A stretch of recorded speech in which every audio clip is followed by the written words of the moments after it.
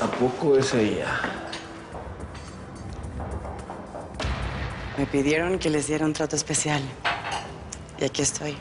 Esperanza es una mujer que es venezolana, radicada en Panamá.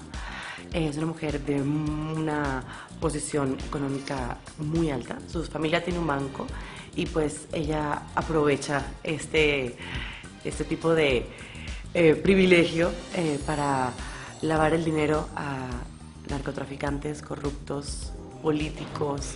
A su vida llega Aurelio Casillas a pedirle que le ayude a lavar dinero y bueno, aquí empieza una sociedad bastante peligrosa porque mm, eh, digamos que eh, Aurelio Esperanza son dos personas sexualmente así súper fuertes y sacan chispas, ¿no?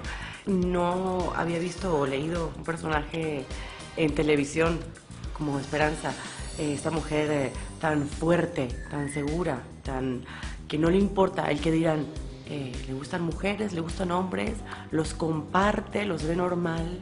Ella rompe un poco ese paradigma, ese tabú. Y pues vamos a ver qué ocurre, ¿no? A ver cómo, cómo lo toma la gente en casa.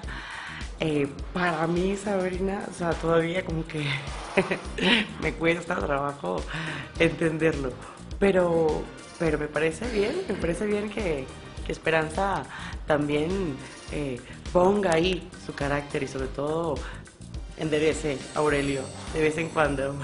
¿Te vas a dejar seducir? ¿Vas a cambiar o te vas a hacer la difícil? ¿Por qué mejor no aclaramos quién está seduciendo a quién? Soy Sabrina Seara y los invito a que no se pierdan El Señor de los Cielos 3 por telemundo.com.